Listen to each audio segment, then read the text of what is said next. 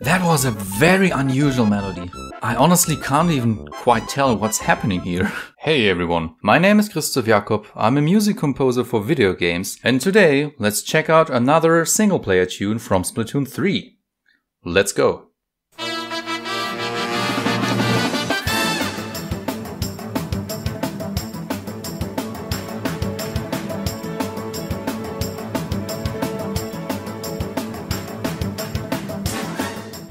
This entire piece of music sounds like something you would hear in a video game or movie that is about superheroes of some kind.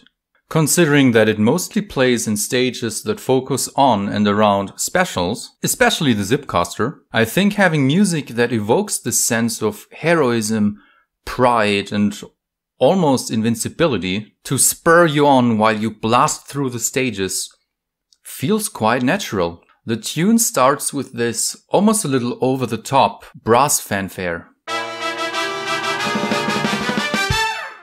Brass is the generic term for instruments like trumpets, trombones, or horns, all of which are quite commonly used in association with fanfares. A fanfare, by definition, is a short ceremonial tune or flourish played by brass instruments typically to introduce something or someone important. We all know this convention from movies where when a king, for example, enters a room, that you hear these trumpet fanfares playing. But who's the important person in the context of Splatoon here?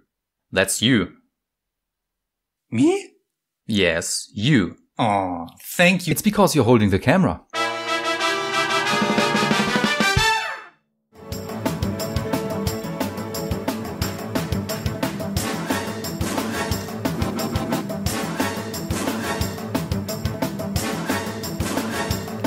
Very rhythmically interesting tune. nice timpani.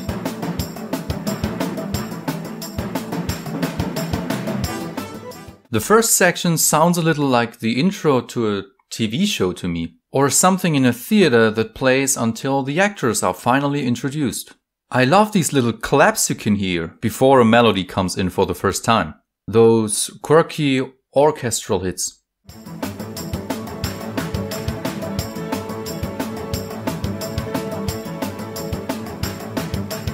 I instantly recognized a little element that I've already talked about in my analysis video of King Salmonid. I'm gonna link that here somewhere. Which is a very common technique called call and response. Take a close listen to these orchestral hits again and try to find out what's happening afterwards. Fanfare again. As you could probably hear, the timpani is pretty much trying to imitate these orchestral hits, which is a really cool little detail. It sounds like the timpani, you know, a, a drum, is playing the main melody at this point. Another little detail that I noticed is that low string instrument that just keeps repeating over and over and over.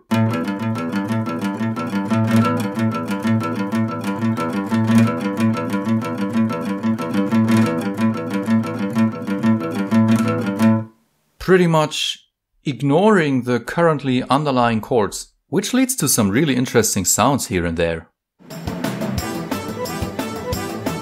Here comes a melody. sounded like ta-da!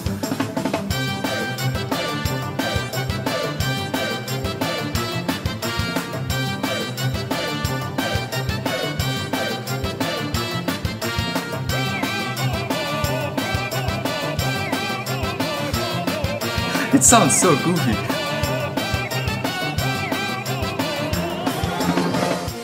That was a very unusual melody. I honestly can't even quite tell what's happening here. Oftentimes, if you're trying to figure out a tune by ear, the bass can give you some pretty easy clues about the underlying chords. It does give you some clues here as well, but since it's just repeating the same three notes over and over, regardless of what the other instruments are doing, it's not quite easy to tell.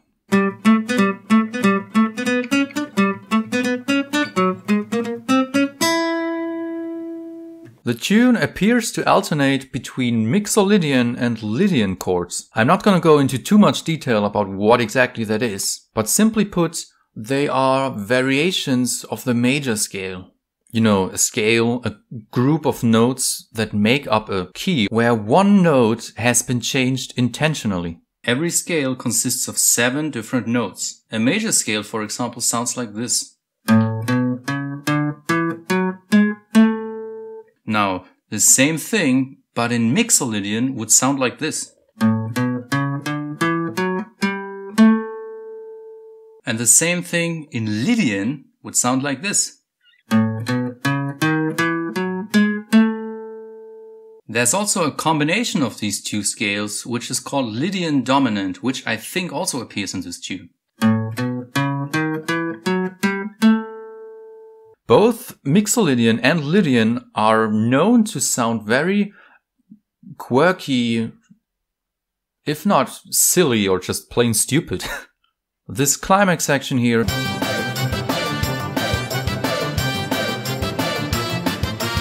sounds triumphant overall, but also incredibly stupid.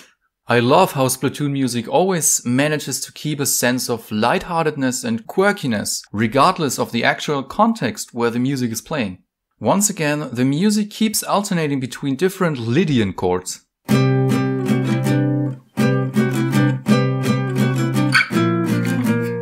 As heroic as it may sound at first, I think it actually sounds really ridiculous and well, silly.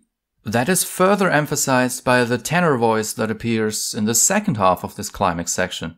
Which, by the way, if you own Omnisphere, it's a preset in there. Bang bang bang bang bang bang bang bang bang bang bang bang bang bang bang bang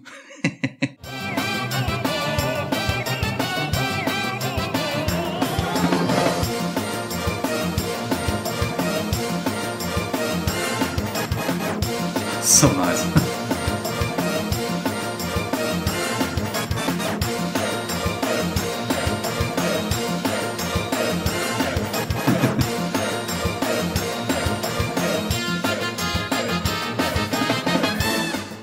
The final part honestly reminds me a lot of something you would hear in a SpongeBob or Simpsons game or something like that. And especially Donkey Kong Jungle Beat in case anyone watching this video knows about this video game, which has these constant hey samples that are cheering you on while you try to make your way through these different stages. I think stuff like that is just really cool. Whether it's subtle or in your face, it's just really cool.